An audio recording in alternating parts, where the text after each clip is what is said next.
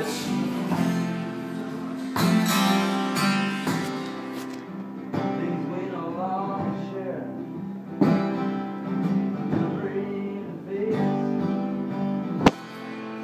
man, I gotta write that second one. That second one always catches me. Uh, memory and face. I got it. Things left unsaid.